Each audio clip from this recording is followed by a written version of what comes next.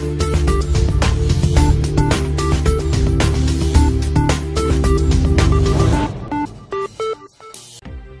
शोबा तहकीकुल कुरान की जानब से अलकायम ट्रस्ट के बानी और खदमत टीम के इंचार्ज रजा जैदी को खादी अकीदत पेश करते हुए इंतहाई खुशी महसूस करते हैं। रजा जैदी की टीम ने बारिशों और सैलाब से मुतासर इलाकों में जिस दिलजमी और लगन से अवामी खदमत का काम सर अंजाम दिया है, उसे जितना भी सराहा जाए कम है।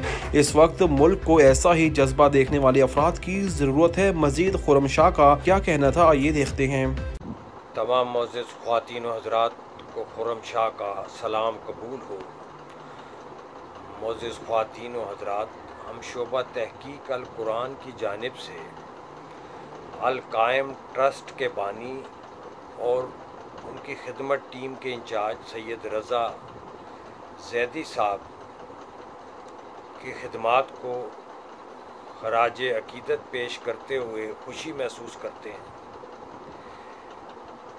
अलकायम ट्रस्ट की जो टीम है, अलखदमत टीम, उन्होंने अपने इंचार्ज रज़ा जैदी साहब की ज़ेर निगरानी, जिस तरह बारिश मुतासरीन और सैलाब मुतासरीन की खिदमत की है, ये उनका जज्बा काबिल कदर है।